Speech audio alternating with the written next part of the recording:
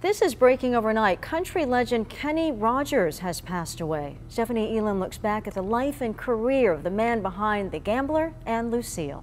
You picked a fine time to leave me, Lucille. On a warm summer's evening, on a train bound for nowhere, I met up with a gambler. We were both too tired to sleep. Do you really know about the complex and often tumultuous life that lay beneath the legendary career of Kenny Rogers, America's revered country music icon for over six decades? Beyond his remarkable musical journey, Rogers also made headlines for his intriguing history of love and marriage, having been married five times. But it's not a simple story of marital mastery. Amidst moments of happiness and romance, Kenny faced significant personal struggles that had a profound impact on his family and relationships.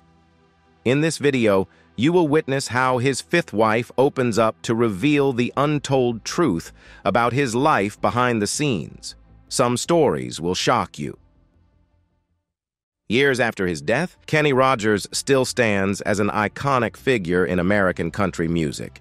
His story is the perfect testament to the enduring power of musical storytelling.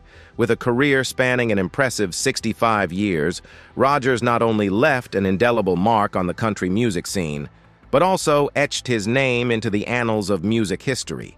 His influence extends far beyond the boundaries of a single genre, resonating with diverse audiences worldwide. Kenny Rogers was more than just a musician. He was a storyteller, a philanthropist, and a cultural icon. It is through his own recollections and his wife's revelations that we can try to unravel the layers of his journey, from humble beginnings to international stardom, showcasing the profound impact he had on the music industry.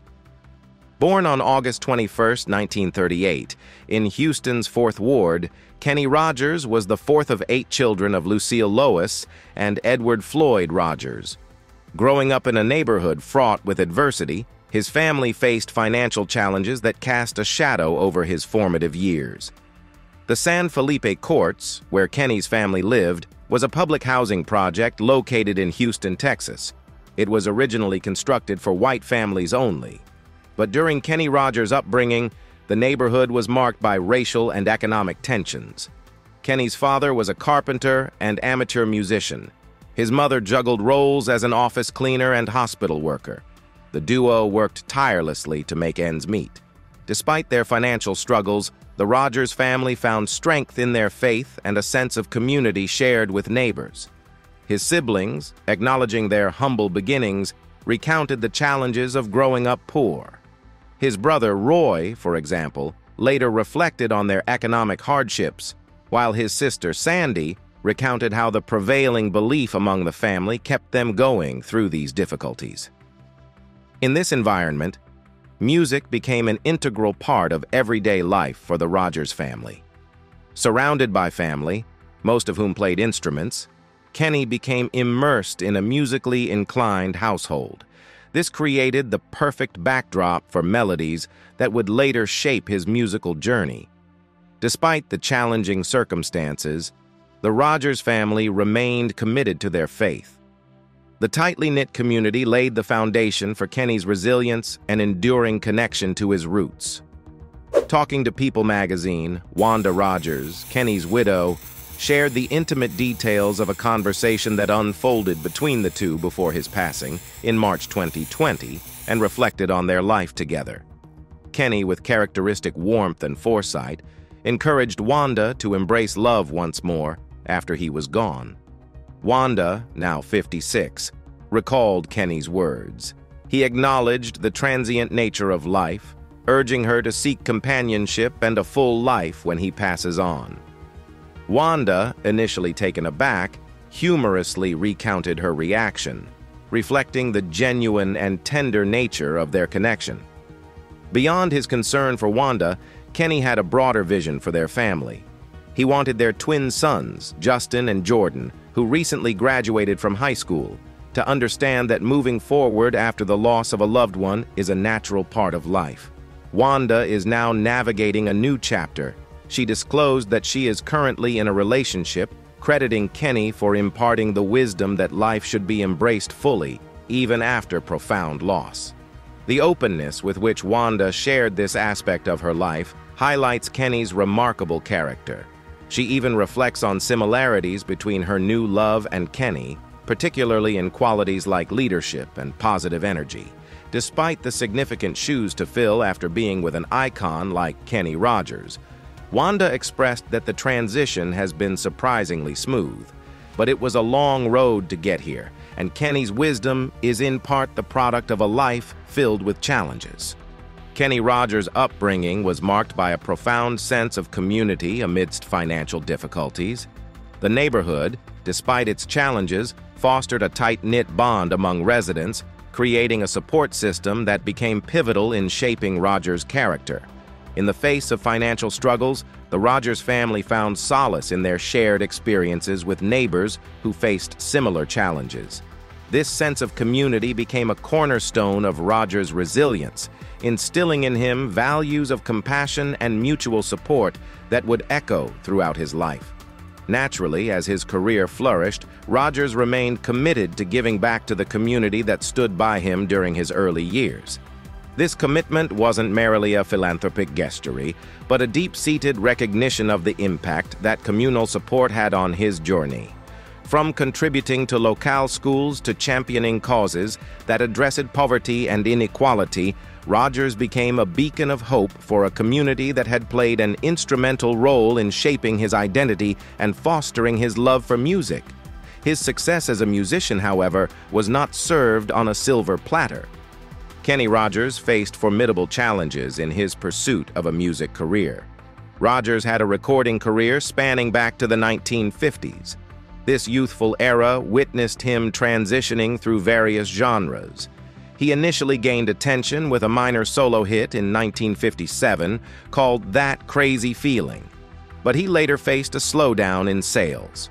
Prompted by this friction, Rogers joined the Bobby Doyle Three, a jazz group, recording for Columbia Records. The group disbanded in 1965, and Rogers began exploring the jazzy rock genre with a 1966 single, Here's That Rainy Day for Mercury Records, which didn't find success. He also worked as a producer, writer, and session musician for other artists, including country luminaries, Mickey Gilley and Eddy Arnold.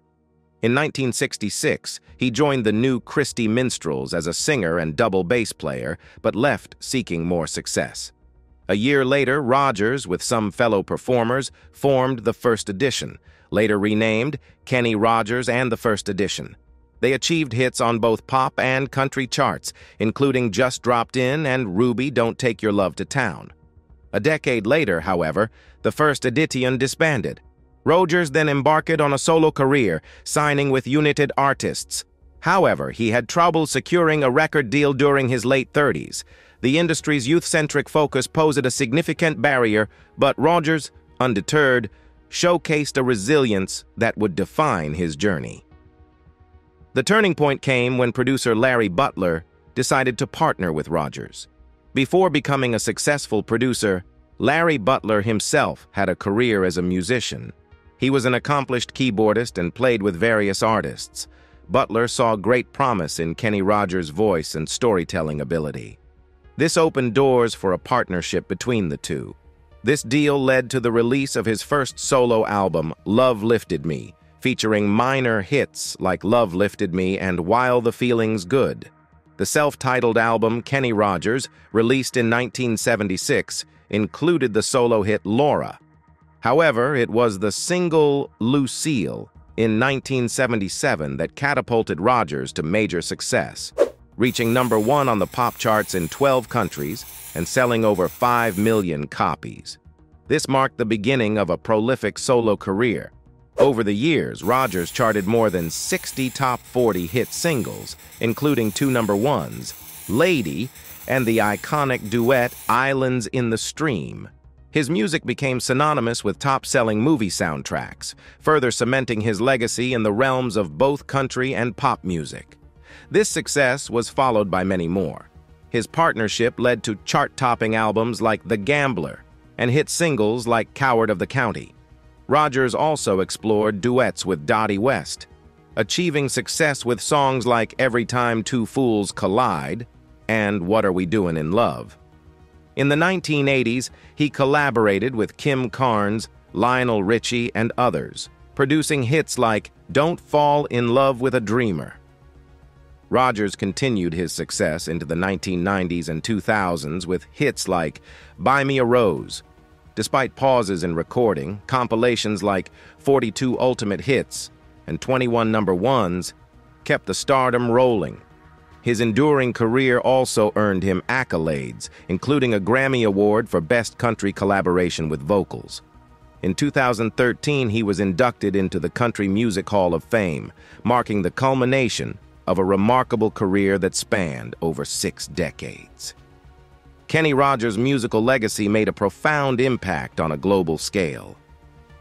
The Gambler, one of Rogers' signature songs, transcended geographical boundaries to become a global phenomenon. Its universal themes of life's lessons and strategic decision-making resonated with audiences from diverse cultures, contributing to its widespread popularity. His music became a shared experience across different nations, whether it was the soulful balladry of Lady or the narrative richness of Coward of the County, his songs found resonance in the hearts of listeners worldwide. His distinctive voice, coupled with masterful storytelling, has solidified his legacy as a pivotal figure in the evolution of country music. Rogers' impact resides in the very fabric of country music. His ability to blend traditional country elements with contemporary sounds set a precedent for future artists, shaping the genre's trajectory. Even today, Kenny Rogers' unique vocal style and narrative prowess continue to resonate with new generations of artists. This perfectly reveals the timelessness of his contributions. His influence is not confined to an era, but spans across decades. The posthumous releases that emerged after Kenny Rogers' passing show how his musical legacy endured through unreleased works, collaborations, or tributes released in his memory. These posthumous contributions contribute to shaping and preserving Kenny Rogers' legacy in the collective memory of music enthusiasts worldwide. Looking back at his career, especially through compilations, it becomes obvious that Kenny Rogers' musical journey was marked by a fluidity that resonated with diverse audiences. The evolution of his musical style, experimentation, and pivotal moments contributed to the unique blend that became synonymous with his name. Beyond being a musical sensation, Kenny Rogers demonstrated a multifaceted artistic spirit that extended into various realms. His exploration of different avenues showcased not only his versatility, but also his enduring relevance in popular culture. Kenny Rogers ventured into acting alongside his successful music career. Rogers appeared in a variety of television movies and series. Notably, he starred in the title role of the 1982 movie The Gambler, based on his hit song of the same name. The film's success led to several sequels. Rogers also authored a New York Times best-selling memoir titled Luck or Something Like It, a Memoir. The memoir provides insights into the man behind the music and explores the experiences that shaped his remarkable journey. The book delves into the life of Kenny Rogers, beyond his public persona as a musical icon. As a musician, songwriter, performer, actor, writer, and influencer, Kenny's influence transcended his own era. The enduring appeal of his work served as a source of inspiration for contemporary artists who admired his unique blend of storytelling and musical prowess. Testimonials and acknowledgments from fellow musicians underscore Rogers' impact, emphasizing not only the significance of his contributions, but also the lasting legacy he crafted across different artistic mediums. The extraordinary career of Kenny Rogers was shaped by many partnerships, collaborations, and friendships, but none stands as firm as the bond he had with Dolly Parton. Their connection went beyond the stage, a genuine camaraderie rooted in shared experiences of challenging childhoods. Kenny Rogers and Dolly Parton found solace and understanding in each other. Reflecting on this special bond in a recent interview with People, Dolly Parton fondly reminisced about the good old days. Parton expressed that she still misses him tremendously. Despite losing many dear people in her life in the last few years, Kenny's memory holds a special place in her heart. Parton shared some cherished memories of singing with Rogers, highlighting the special bond they shared during their performances together. One particularly notable moment was their rendition of Islands in the Stream, a chart-topping duet from 1983. Parton revealed that, unlike routine performances, she always looked forward to singing this song as it never failed to uplift the audience and bring joy. She went on to say that she never grew tired of Kenny's voice. Reflecting on their collaboration in 2013, where they recorded You Can't Make Old Friends, Parton shared her take on the importance of the song about friendship, especially in the aftermath of Roger's death. She explained that while new friends can feel like old friends, the depth of connection formed over the years is irreplaceable. Parton likened their relationship to that of siblings, stating that she and Kenny were very similar and knew each other inside and out.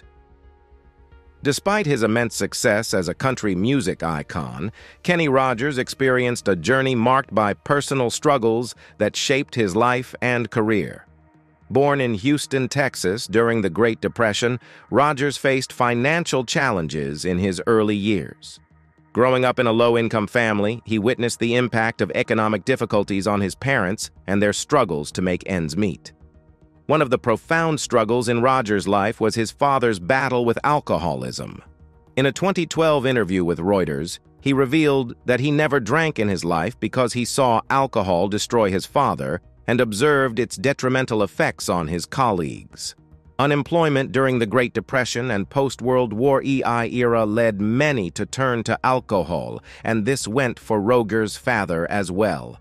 He became a broken man, unable to support his family. This tragic experience deeply affected Rogers, and he expressed regret for not fully understanding his father's struggles before his passing. In his autobiography, Luck or Something Like It, Rogers shared details about his father's desperation for work. It was after his father's death that he discovered that his father had once driven to Galveston seeking a day's work, sleeping outside while waiting in line for job opportunities. This revelation made Rogers reevaluate his perception of his father, prompting him to question whether the drinking was an inherent issue or a response to the challenging times. Regardless, Rogers chose to avoid alcohol throughout his life. Rogers also received a warning from his brother-in-law Sonny, a drug addict, to stay away from drugs. He honored this promise. While he admitted to trying marijuana once, he considered the experience more frightening than enjoyable. Despite the occasional experimentation with magic mushrooms, Rogers remained steadfast in his decision to never drink alcohol or do drugs. Kenny Rogers' life was a tapestry woven with struggles, and this shaped not only his personal story, but also left an indelible impact on the landscape of American music. But the struggles did not end there. Kenny Rogers' romantic journey was just as challenging as the rest of his life. The challenges and profound moments that defined his five marriages left an indelible mark on both his personality and career. His union with Janice Gordon was a youthful foray into matrimony marked by the struggles of a budding music career. The challenges of balancing ambition and commitment became evident when the two went separate ways. He married a succession of women after this marriage failed. Rogers tied the matrimonial knot with Jean Rogers, Margo Anderson, and Marianne Gordon. His union with the latter was the longest and, at times, tumultuous chapter of Kenny Rogers' romantic odyssey. As he reached the zenith of his career, the marriage faced the trials of fame. Despite enduring for over a decade, the pressures of stardom eventually took their toll, leading to a divorce. However, Rogers did not give up on love and met Wanda Miller. Their late-life love story defied expectations and showcased a different facet of Kenny Rogers. This marriage endured until his passing, offering a glimpse into a more settled and enduring companionship. In candid interviews, he shared his opinion regarding the impact of his driven and, at times, selfish past marriages. The emotional depths of the legendary musician were apparent when he explored the regrets, introspection, and lessons learned from the intricate dance between fame and personnel relationships. He also faced contractual disputes, royalty battles, and the broader struggles many artists contend with in ensuring their creative contributions are justly rewarded. But he did shine through these challenges and lived a full life. Kenny Rogers' ambitious forays beyond the realms of music also captivated public attention, and this is best exemplified by his restaurant business venture, Kenny Rogers Roasters. In a bid to diversify his portfolio, he entered the restaurant business in 1991 with Kenny Rogers Roasters, a restaurant brand that wasn't just about food, but was a culinary journey instead. The restaurant gained distinction for its wood-fired rotisserie chicken. The menu, inspired by Rogers' southern roots, showcased a unique blend of flavors, giving patrons a taste of the legendary musician's personal touch. The concept behind Kenny Rogers Roasters was an extension of Rogers' multifaceted talent. It aimed to create a dining experience that resonated with his persona. The restaurant's theme was carefully crafted to align with Rogers' image, bringing together his love for music and Southern cuisine. The idea was not merely about serving food, but creating a harmonious blend of taste, ambiance, and celebrity influence. In its initial phase, Kenny Rogers Roasters enjoyed considerable success. The restaurant's marketing strategies, coupled with the appeal of its signature dishes, contributed to its popularity. Diners were drawn not only to the food, but also to the association with a beloved music icon. However, challenges emerged soon thereafter. Maintaining the initial momentum became a test, requiring strategic adaptations to evolving market dynamics and consumer preferences. The first restaurant opened in Coral Springs, Florida, with a focus on grilled chicken. Over the years, the menu expanded to include turkey, ribs, and various side dishes. The chain rapidly grew to over 350 restaurants worldwide, spanning Canada, Europe, the Middle East, and Asia. However, it faced competition from other roasted chicken chains and underwent legal challenges, including a lawsuit from Cluckers, which was later resolved through Kenny Rogers Roasters acquiring a majority stake in Cluckers. Despite early success, the company faced financial difficulties leading to Chapter 11 bankruptcy in 1998. Nathan's Famous Incorporation acquired Kenny Rogers Roasters in 1999, but the chain's presence dwindled in the U.S. By 2011, the last North American Kenny Rogers Roasters closed. However, the brand continued to thrive in Asia under the ownership of the Berjaya Group, with nearly 140 restaurants across the region and ongoing expansion efforts in Malaysia, the Philippines, and southern China. The culinary legacy of Kenny Rogers lives on. Kenny Rogers also extended his impact to become a compassionate philanthropist. The altruistic endeavors of the legendary artist offer a glimpse into a facet of Rogers that transcended the spotlight. His commitment to societal betterment ran parallel to his triumphs in the entertainment industry. A cornerstone of Rogers' philanthropy was his active support for the American Red Cross and its humanitarian efforts. Beyond financial contributions, he immersed himself in campaigns and events, leveraging his influence to raise awareness and funds for disaster relief and community support. Rogers also had an association with the Muscular Dystrophy Association, illustrating his unwavering dedication to impactful causes. Whether through fundraising initiatives, public appeals, or personal involvement, Rogers left an enduring imprint on the association, showcasing a philanthropic commitment as harmonious as his musical legacy. Rogers' philanthropic ventures were woven into the fabric of his identity, his generosity resonated across communities, highlighting his belief in using his influence to uplift those facing adversity. From regions struck by disasters to ongoing community development, Rogers' philanthropy reached diverse corners of societal well-being. Kenny Rogers was not merely a musical icon, but also a compassionate figure devoted to enhancing lives.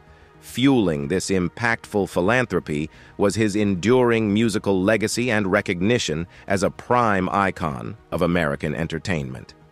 The remarkable trajectory of Kenny Rogers' 65-year musical odyssey is adorned with the glittering jewels of accolades and recognition. His illustrious career in the music industry began garnering recognition in the late 1970s. In 1977, he secured his first major awards, winning the Grammy for Best Male Country Vocal Performance with Lucille and earning several accolades at the Academy of Country Music Awards for the same song. The following year, in 1978, Rogers received the American Music Award for Favorite Single with Lucille and was honored with the Country Music Association Awards for Vocal Duo of the Year with Dottie West. As his career soared, Rogers continued to accumulate prestigious awards. In 1979, he clinched the Grammy Award for Best Male Country Vocal Performance for The Gambler and dominated the Country Music Association Awards, securing Male Vocalist of the Year, Vocal Duo of the Year with Dottie West, and Album of the Year for The Gambler. The 1980s marked further triumphs for Rogers, including multiple wins at the American Music Awards, with distinctions like Favorite Country Album for The Gambler and favorite pop rock country artist. In 1985, he received the American Music Award for Favorite Country Album for Eyes That See in the Dark. His enduring impact on the industry was recognized with inductions into the Texas Country Music Hall of Fame in 2017 and the Country Music Hall of Fame in 2013. Throughout his career, Kenny Rogers' journey of accolades reflects a remarkable trajectory of success and influence. As the final curtain descended on Kenny Rogers' illustrious career, the spotlight shifted towards a well-earned retirement. Rogers chose to gracefully step away from the limelight after several stunning years of musical excellence. He was motivated by a desire to orchestrate the rhythm of his life in harmony with a quieter, more personal melody. He wanted to spend more time with his children, his paternal instincts pulled him towards a quieter life, away from the relentless touring and performances. Leading to his retirement in 2015, Kenny Rogers embarked on his farewell tour, aptly named The Gambler's Last Deal, signaling his intention to retire. He announced that his final tour appearance would be on NBC's Today Show.